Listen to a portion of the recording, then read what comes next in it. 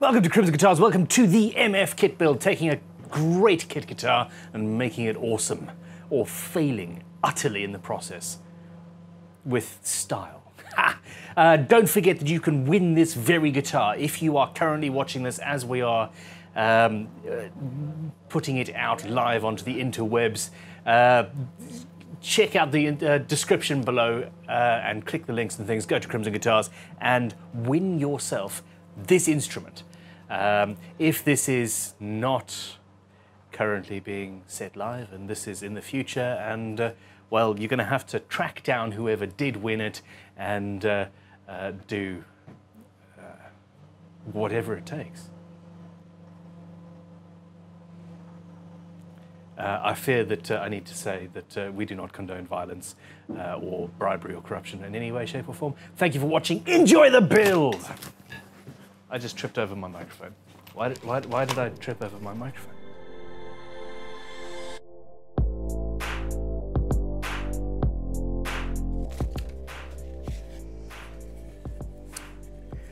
Okay, so this has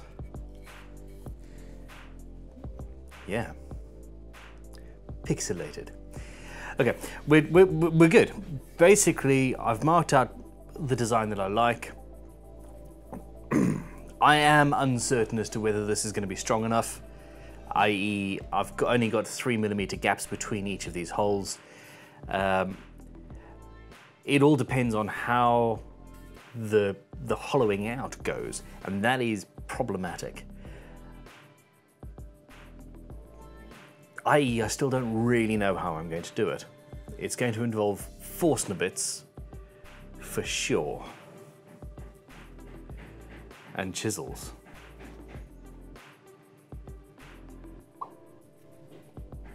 Let's see.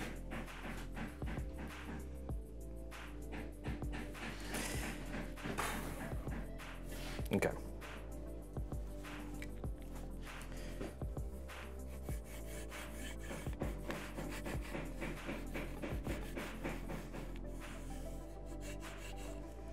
Of course, this shape is uh, is not conducive to uh,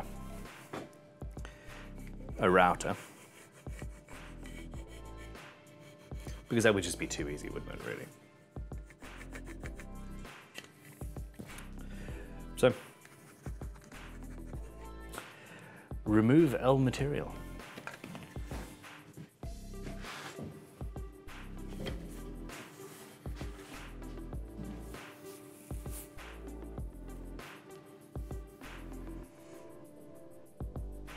Vice.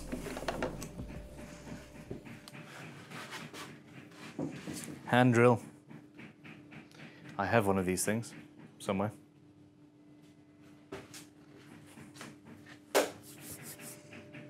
Aha!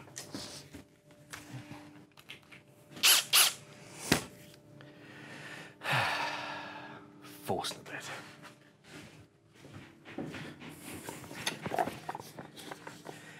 All right. I I'm I'm just going to do this by hand. Really?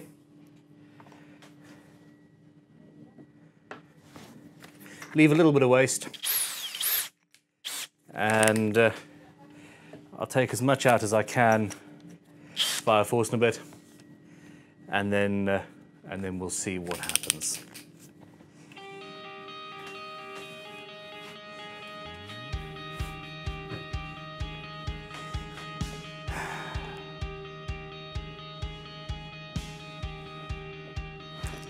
Yeah, as long as I drill straight, as long as I drill straight, this should work.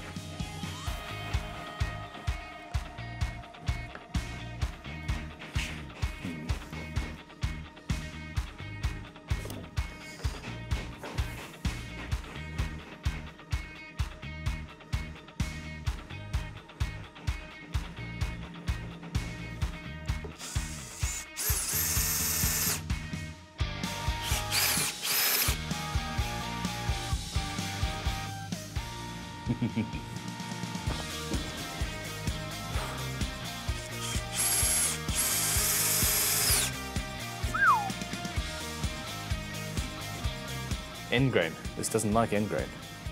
I'm gonna go from this side then.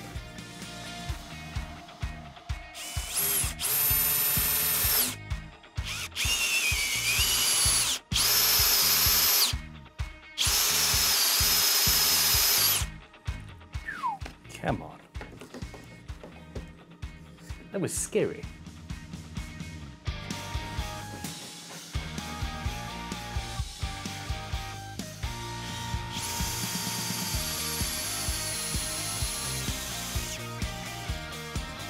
I obviously don't want to go all the way through.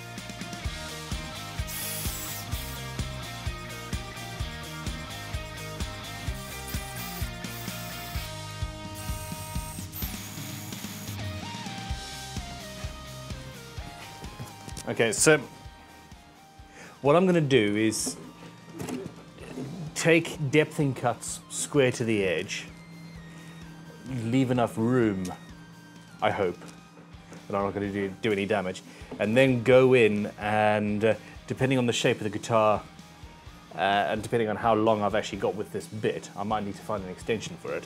Uh, I will then change the angle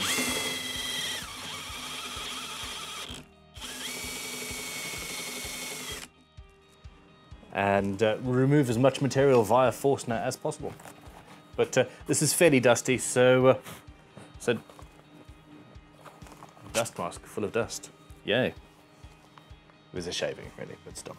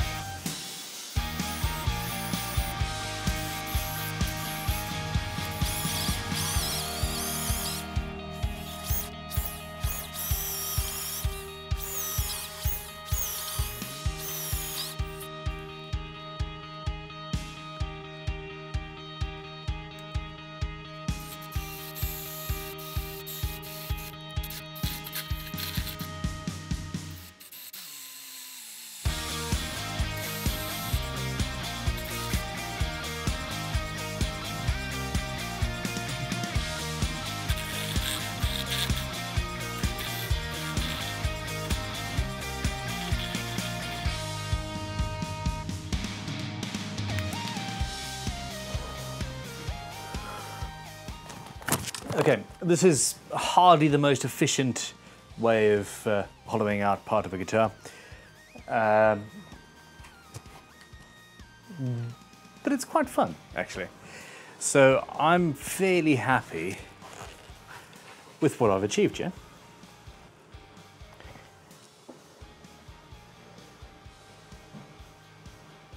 That's uh, actually pretty good. A little bit scary at times, but Success. And now, well, I'm not entirely sure actually. Uh, it's a case of uh, getting rid of getting rid of excess wood and tidying it up. The problem is I can't really hold it too securely in a vise. Uh, I'm cramping it at the edges where it's stronger. But uh, yeah, it's still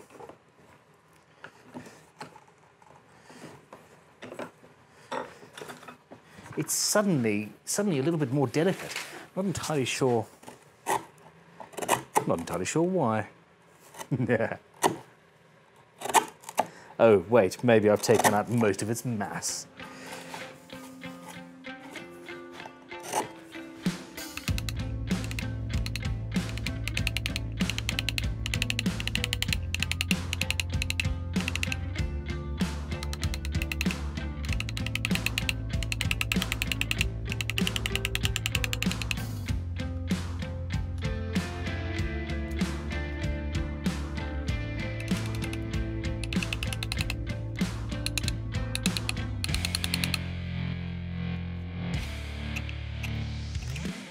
So a little bit of cleaning up, a lot more to do. The issue is inside here, I've got a rather big dip. You can't really see what's happening. Oh my gosh, that's going to make you ill. Uh, there's quite a large dip in there. So I'm going to be doing some carving.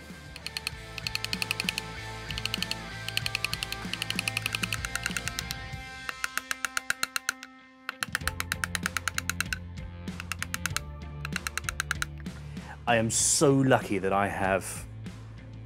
I'm so lucky that I own a vintage tool shop and have a weakness for carving gouges because this would be impossible. I'm using. Um, check out vintagetoolshop.com because because you should. Um, without curved gouges, spoon gouges, I got dust in my eye then. Uh, this would be impossible. I'm essentially going in at angles. That's just in the way. So I'm having to go in with a curved gouge to, to carve away and match the shape of the outline. Now, my problem is, my problem is, my problem is I'm having far too much fun. Uh, I have sound holes in the front and then going down the sides and the edges here. So really, in order for it to not look weird, I want the thickness of the front and the sides at those points at least to be relatively uniform. Uh, I'm going to take away as much material as I can blind and then somehow, I still haven't figured out exactly how I'm going to make these holes. Um, I assume just drills and knives and chisels. Um, once those are carved and I can actually see how exactly how thick it is, I'm going to go with an incredibly sharp gouge and then re-thickness from the inside and see what happens. I'm, I'm really, really enjoying myself.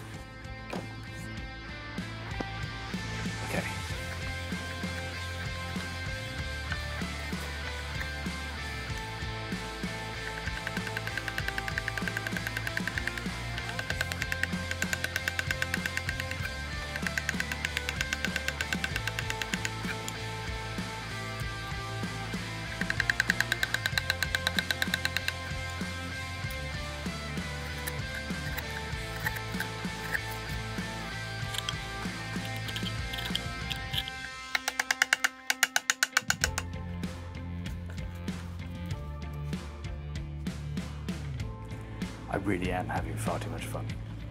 Okay. Um,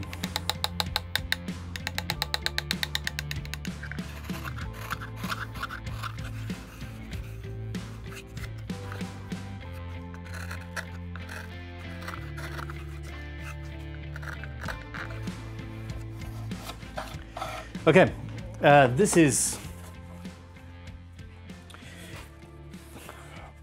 pretty much pretty much there, I think. The, uh, as, as near as I can tell, I've got a fairly even thickness uh, in the edge. The top is nice. The back is fairly, fairly even. It's got a relatively rough feel because it's just been hand carved. Um, I'm uncertain whether I want to... Okay, at this point, I'm not going to fine sand it. Um, I probably, I probably will sand it down at some point, even though it's going to be invisible, just for, for pride, really, I suppose. Um, I'm going to start cutting some hexagonal sound holes. now, what I'm going to do, a couple of these are actually fairly close to the edge of the cavity. So I'm going to go straight down and then as I move down, I'm going to angle them till they're going straight through that way. So it's going to look like we've basically taken the piece of wood and then bent it around. Um, you know, who needs a 3D printer to make something cool? Uh, me. I need a 3D printer. But uh, in this case, no. All right.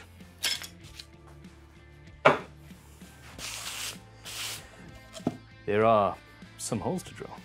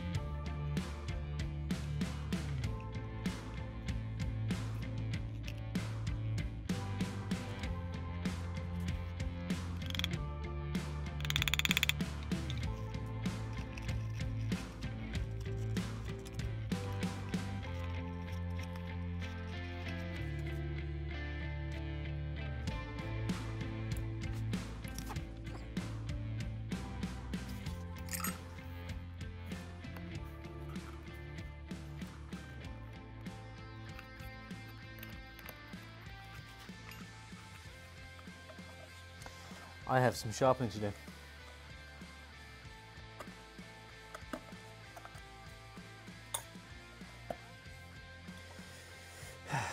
yeah, I have some sharpening to do. Essentially, to cut these properly, one, I need the tools to be as sharp as humanly possible. Two, I'm going to have to wedge something in between the, the, the front and the back. Um, I have no choice.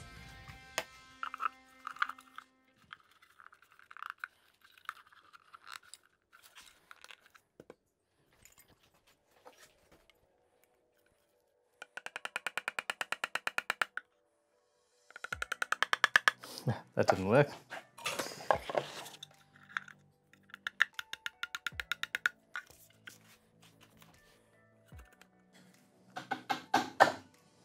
No.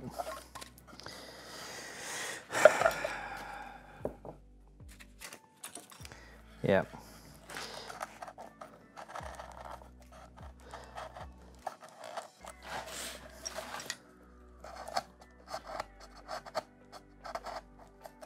Knives are I think actually best.